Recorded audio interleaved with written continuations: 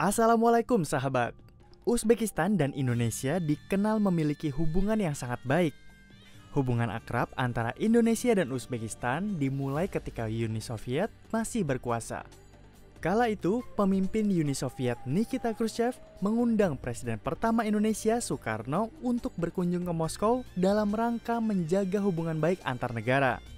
Beliau lalu mengajukan syarat agar pemimpin Uni Soviet itu bisa menemukan kembali makam Imam Al-Bukhari di Samarkand, Uzbekistan. Akhirnya, lokasi makam Imam Al-Bukhari berhasil ditemukan lagi meski keadaannya cukup memprihatinkan. Untuk menyambut dan menyenangkan hati Presiden Soekarno, maka makam pun direnovasi. Ketika akhirnya Soekarno memenuhi undangan tersebut, ia menyempatkan diri berziarah ke makam tersebut bukan hanya sekedar bagian dari syarat. Namun penemuan makam tersebut merupakan sumbangan penting dari Presiden Soekarno kepada umat muslim dunia. Pada tahun 1998, Presiden Uzbekistan Islam Karimov pun merenovasi dan mempercantik makam dengan dibuatkan menjadi kompleks pemakaman seperti sekarang sebagai bentuk penghormatan. Arsitektur makam Imam Al-Bukhari berbentuk kubus dengan kubah setinggi 17 meter. Dindingnya dihiasi dengan ubin kaca hijau muda, biru dan putih. Juga marmer, onyx dan granit. Begitupun dengan lantainya yang diberi banyak dekorasi. Bagian dalam kubah ditutupi dengan pola-pola ornamen berwarna cerah Biasanya, makam ini tidak boleh dimasuki oleh sembarang orang. Namun, saya diberikan kesempatan spesial untuk dapat masuk dan berdoa di dalam makam Imam Al-Bukhari ini. Saya juga sempat berbincang-bincang dengan salah satu imam setempat.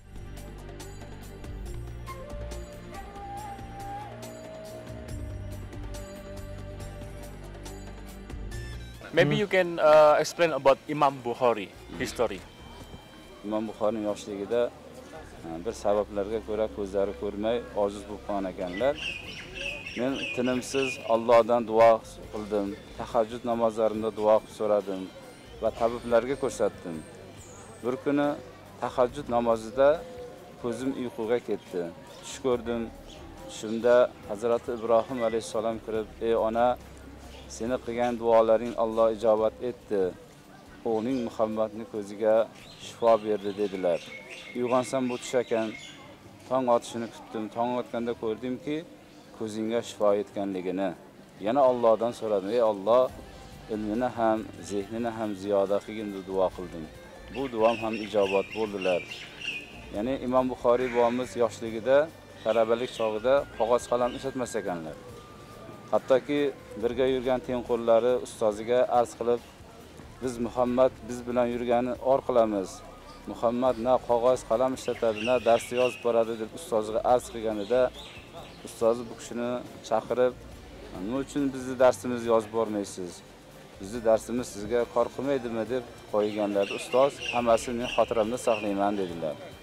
Ustozlari shunda imtihon qilganlarida bu zot e, 70 ming hadisni yoddan aytib berar ekanlar shunda shogirdlari so'rar ekanki ustoz siz o'sha vaqtda necha yoshda edingiz? deganda yetti yoshlar chamasida bo'lganman deganlar.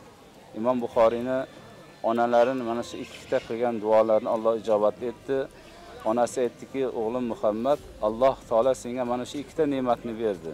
Mana shu ikkita ne'matni evaziga dinda xizmat qilgin deb o'g'li muhammad bilan xayrlashib katta o'g'illari ahmad bilan onasi Э, buxoro shahriga qaytdilar. Imom buxoriy makka shahrida qolib yana ilmini davom ettirdi. Tarixda ma'lumingizki payg'ambarimiz alayhissalom bilan imom buxoriyni o'rtalarida qariyb ikki asrlik farq bor. Э, asosan hadislar э, eshitishlik yo'li bilan o'tib kelgan va sahobiylar dinni targ'ibot qilish uchun turli xil joylarga safarbar qilingan hadislar ham sahobiylar bilan birga ketib qolgan.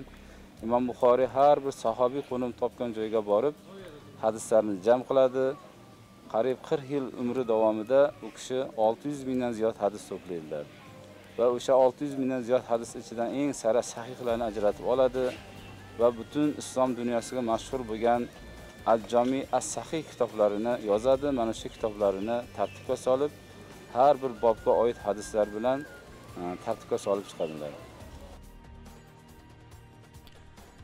Membentang di atas area seluas 10 hektar di sisi kiri makam, terdapat masjid yang dapat menampung hingga 1.500 orang. Di sisi kanan, ada perpustakaan dan museum dengan koleksi buku-buku langka tentang teologi Islam yang ditulis tangan, hingga ada potongan karpet suci dari Ka'bah di Mekah. Tidak jauh dari makam, terdapat sumber mata air suci yang tidak pernah kering meskipun saat musim kemarau.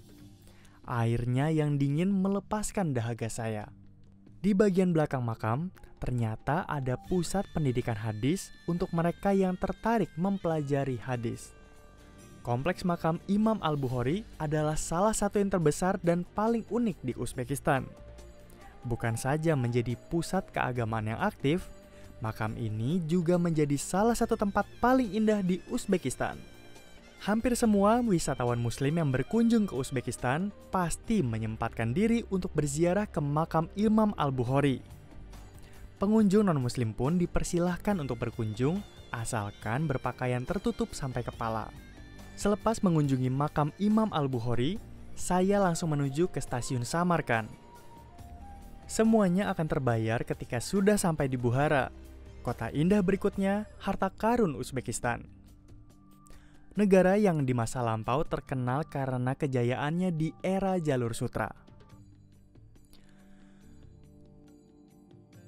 Di bawah kepemimpinan Genghis Khan, Buhara sempat mengalami kehancuran.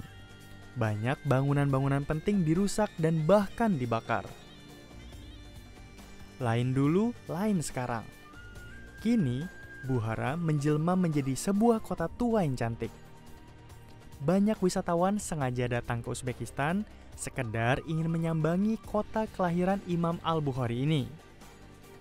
Di kota ini, wisatawan dapat menikmati beragam bangunan indah yang menjadi saksi berkembangnya peradaban Islam di masa lampau. Sebelum menuju ke makam lain yang tidak kalah penting bagi umat Islam, tidak ada salahnya kita kunjungi dulu ikon Buhara yang merupakan bangunan penting di masa perang. Tapi kita akan lanjutkan di segmen berikutnya, tetap di Muslim Journey.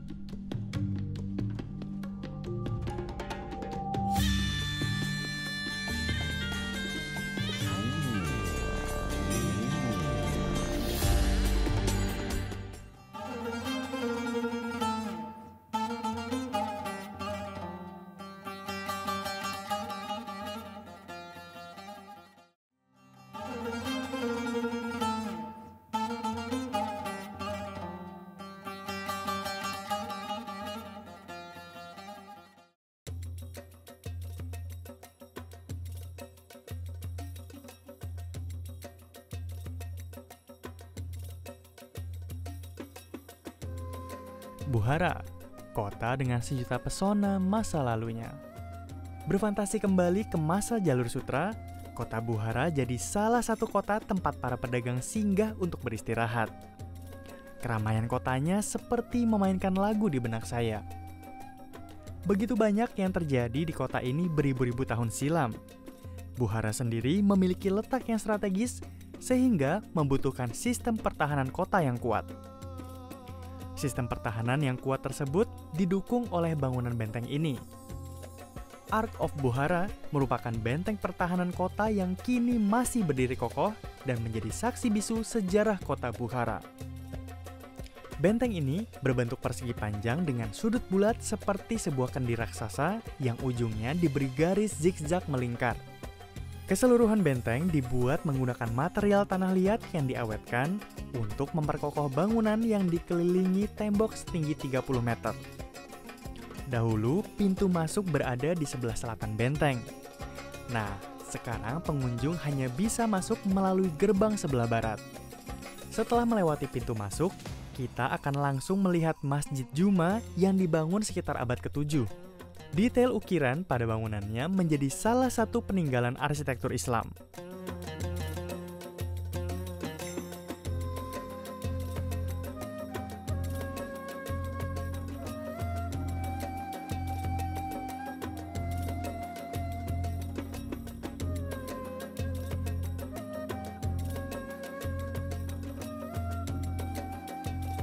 Pastikan stamina Anda prima ketika berkunjung ke sini. Pasalnya, luas areanya mencapai lebih dari 4 hektar. Dulu tempat ini menjadi pusat pertahanan dan kediaman para amir atau bangsawan Bukhara. Dibangun sekitar abad kelima, 80% bagian bangunan benteng yang asli telah mengalami proses rekonstruksi berulang kali akibat hancur. Sebagian besar karena perang. Proyek-proyek renovasi yang dilakukan seakan menghidupkan kembali jiwa Ark of Buhara dari masa lalu.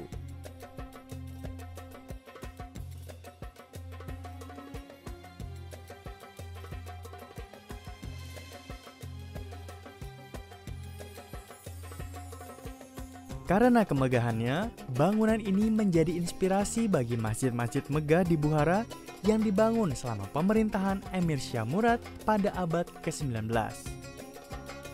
Di halaman dalam benteng terdapat banyak penjual souvenir. Ada satu lapak yang menjual lukisan bertema Uzbekistan. Lukisan tersebut langsung dikerjakan di tempat oleh sang penjual. Hasilnya bisa langsung Anda bawa pulang sebagai kenang-kenangan. Selain orang dewasa, pengunjung di sini kebanyakan adalah anak-anak. Sejak dini, mereka telah diperkenalkan terhadap sejarah Bukhara dengan harapan memori masa lalu ini akan selalu awet diingatan setiap generasi.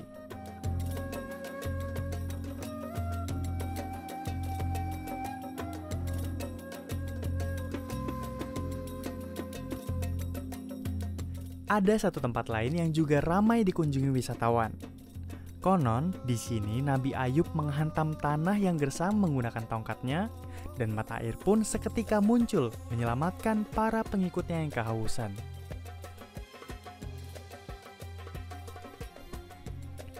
Kemunculan air yang tiba-tiba itu membuat orang-orang tercengang. Nabi Ayub adalah seorang keturunan dari Nabi Ibrahim dan keponakan dari Nabi Yakub. Ketika Ayub dipilih menjadi nabi, ia mulai mengajar orang-orang tentang Allah dan agama Islam. Beliau mengajarkan orang-orang untuk berbuat baik dan menjauhi perbuatan jahat. Nabi Ayub terkenal karena kesabaran dan kesetiaannya. Kekayaan yang dimilikinya tidak membuat dia buta hati. Beberapa kali Nabi Ayub diuji dengan diberikan musibah dan sakit yang ganas. Keluhan tidak pernah keluar dari mulutnya, Allah akhirnya mengembalikan masa kejayaan Nabi Ayub. Kesehatan, harta, dan keluarga dikembalikan padanya. Sekitar abad ke-12, di lokasi ini akhirnya dibangun beberapa bangunan lain untuk menjadi kompleks. Bentuk atap monumen ini terbilang cukup unik, mirip seperti tenda. Ketika masuk ke dalam, kita akan menemukan makam Nabi Ayub sebuah sumur kecil, serta beberapa keran-keran yang airnya bisa diminum. Air tersebut dipercaya dapat menyembuhkan berbagai penyakit. Arsitektur kompleks tidak terlalu meriah, lebih polos dibanding bangunan bersejarah lainnya yang sudah saya datangi. Selain itu, di dalam bangunan terdapat museum kecil yang membahas tentang pengelolaan air di Buhara Papan-papan informasi berisikan peta jalur-jalur perairan di Bukhara. Ada juga miniatur alat pengelolaan air pada masa lampau. Selain itu, beberapa makam lain melengkapi kompleks ini. Salah satunya makam ahli hadis, teolog, dan penulis risalah sejarah terkenal yang dimakamkan di sana pada tahun 1022. Perjalanan hidup Nabi Ayub bisa menjadi contoh yang menunjukkan bahwa barang siapa yang tetap sabar di bawah tekanan, dalam keadaan apa pun juga tidak akan luput dari imbalan yang tinggi di kemudian hari. Sejarah memang hidup di masa lalu, tapi nilainya selalu berlaku dari masa ke masa. Manusia tidak harus hidup dalam sejarah, tapi harus menjadikan sejarah sebagai buku panduan. Kalau yang satu ini memang merupakan bagian dari sejarah, tapi kenikmatannya selalu bisa kita rasakan hingga sekarang. Namanya palaf, makanan khas Uzbekistan yang menggiurkan. Sebentar lagi kita akan lihat cara pembuatannya, tetap di Muslim Journey.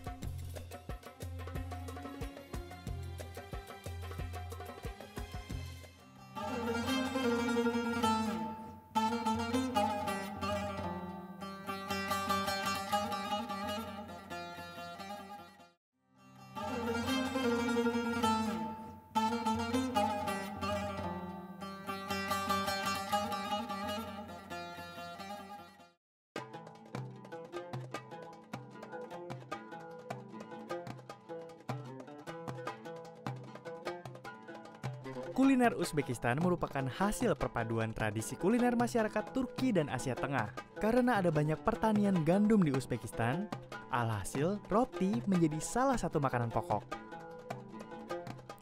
Selain itu, jika bicara mengenai makanan khas Uzbekistan, sebenarnya cukup banyak. Palav, makanan yang satu ini memiliki nama lain pilaf. Makanan khas Uzbekistan ini menggunakan dua bahan utama, nasi, dan potongan daging kambing atau domba. Bahan campuran lainnya yakni wortel parut dan bawang putih utuh, serta beberapa kismis dan kacang-kacangan. Memasak masakan ini tidak boleh sembarangan, harus menaati resep yang ada. Kalau tidak, alih-alih dapat mencicipi palaf yang lezat, hidangan Anda akan berubah menjadi risotto Biar tidak salah, saya diajarkan oleh salah satu koki di restoran tentang bagaimana memberikan nyawa kepada palaf buatan kita. Pertama-tama, tentu siapkan daging kambing atau domba. Mengganti bahan dasar daging bisa mengubah cita rasa aslinya. Jadi, saya sarankan tetap berpegang teguhlah pada resep dasar. Siapkan juga beras, wortel yang dipotong tipis dan memanjang, bawang bombay, bawang putih utuh, cabai rawit, kismis, dan kacang.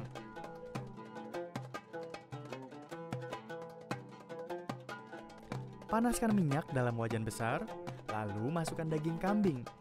Goreng hingga sedikit kecoklatan. Setelah itu, masukkan bawang bombaynya, lalu tumis lagi. Untuk kali ini, 90% proses memasak akan ditangani oleh koki. Saya hanya membantu sedikit-sedikit Setidaknya kita punya orang yang akan mencicipi makanan yang lezat ini.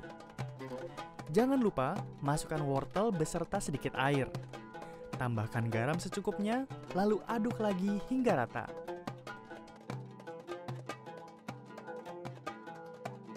Sebelum didiamkan, bawang putih utuh, cabai rawit, kismis dan kacang diletakkan di bagian atas. Berselang beberapa menit, keluarkan bawang putih dan kawan-kawannya dari atas daging, lalu masukkan beras yang telah dicuci bersih. Tambahkan juga air sebanyak takaran ketika kita memasak nasi. Tutup lagi, dan sekarang kita tinggal menunggu nasinya matang.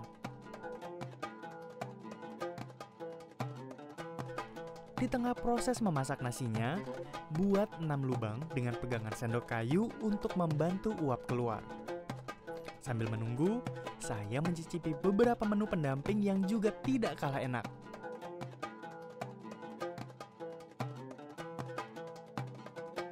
Ketika memasak palaf, pastikan beras tidak diaduk dulu ketika dimasukkan.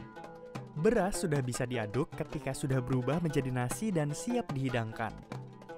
Daging kambing tadi dipotong kecil-kecil dan ditaruh di atas nasi. Palaf adalah nasi goreng versi Uzbekistan. Ada ribuan resep masakan palaf dengan berbagai bahan dari berbagai daerah di Uzbekistan. Bahkan ada beberapa buku masak yang hanya didedikasikan untuk hidangan ini. Palaf menjadi simbol keramah tamahan warga Uzbekistan. Hidangan sudah tersedia, tanpa perlu berlama-lama, sesendok palaf sudah masuk ke mulut saya. Cita rasa yang kaya, daging kambing yang lembut, semuanya menari-nari di dalam mulut.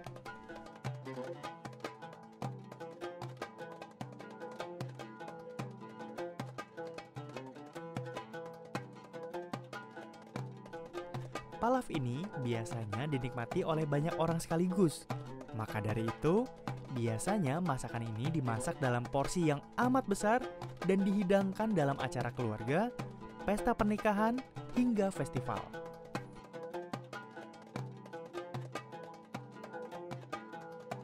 Masakan lezat dan sambutan yang ramah menjadi penutup perjalanan saya hari ini.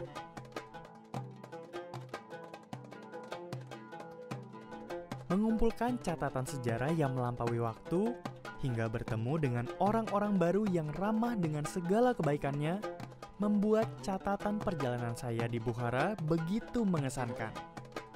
Bukhara, sebuah destinasi yang tidak hanya menyerap energi baru, namun juga meninggalkan pesan yang bermakna tentang bagaimana wujud sebuah ketenangan dan kebersahajaan.